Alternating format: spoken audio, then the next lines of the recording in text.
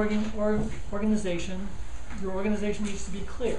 That means when you go from point to point, people know that you're going from point to point.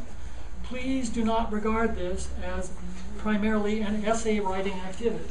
In an essay, people can read once and for all when you're saying next comes this and they can they can intuit when you're making a transition in speaking that's not nearly the case it's really important to be very definitive and clear when you're going from point to point it needs to be parallel parallelism i'll talk about later that means that the points that you have need to be the same size the same kind the same weight and you need to have logical sequential uh, arguments that are backed with sound and, re- and reasonable relevant details I'll talk about that more.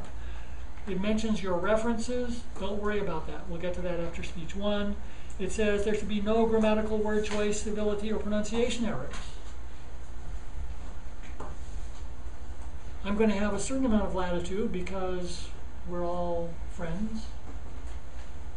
Slang is fine up to a certain point.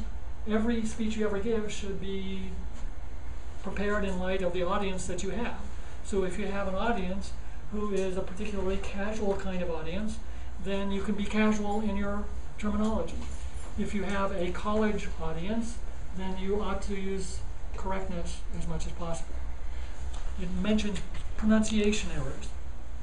You're not going to mispronounce your mother's name or your brother's name, but when we get to speech three, when you're talking about past speeches, you're going to be introducing, in some cases, people whose names you might not be familiar with, or places whose names you might not be familiar with. If you come up here and say, well, I don't really know how to pronounce this, but I think it's Mogadishu, whereas in reality is Mogadishu, which is the capital, I think, of Somalia, then you will not get your 20 points. If you're not sure of the pronunciation, what do you do? Take it out. Well, you can take it. Melinda? Learn it and practice it. Learn it, practice it. Yeah. Ask someone. Yeah, ask someone. Now, a little tip. Who is assessing your speeches?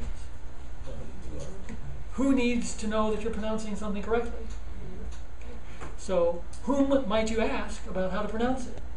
Even if he is incorrect himself. Wikipedia. Maybe. Maybe. No, I would say though, if you're not sure, ask me. I have I am familiar with several different languages, and at the very least, if I give you a wrong pronunciation and you do it, you're going to get credit for it because I think it's correct. So, civility civility means being polite more than anything else. So, for instance, when I was giving presentations to the Public Utility District in Wenatchee, I met with the commissioners and with my co-presenter in advance.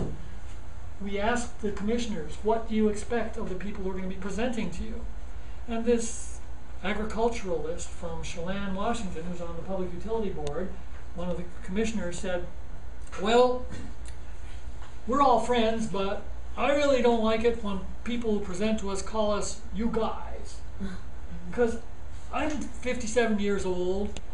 I'm established in the community. It just doesn't sound right. Now, when we're talking in the street on the street, it's okay, but in a presentation, don't say you guys to us. So think about this when you when you're preparing your speeches for each other. Here, think about the kinds of impressions you want to make in the language you choose. Word choice, grammatical errors. Okay, that's the end of organization and argumentation.